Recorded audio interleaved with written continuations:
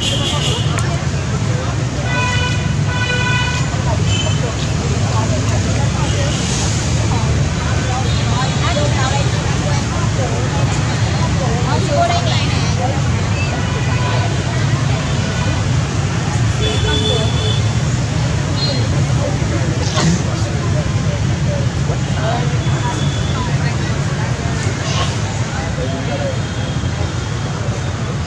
Đây được rồi, tôi quay mặt vườn uh, xã.